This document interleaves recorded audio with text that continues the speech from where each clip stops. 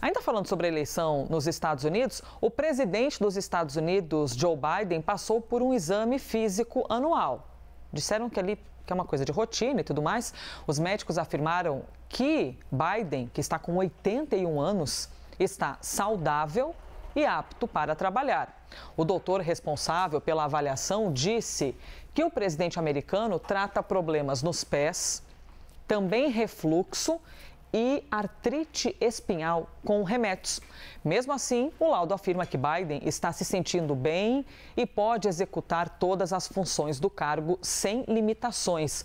O exame vem em meio a questionamentos sobre a saúde mental e física de Joe Biden na campanha eleitoral e os debates em torno né, de até que ponto você observar se uma pessoa está apta ou não entra na questão de senilidade, né?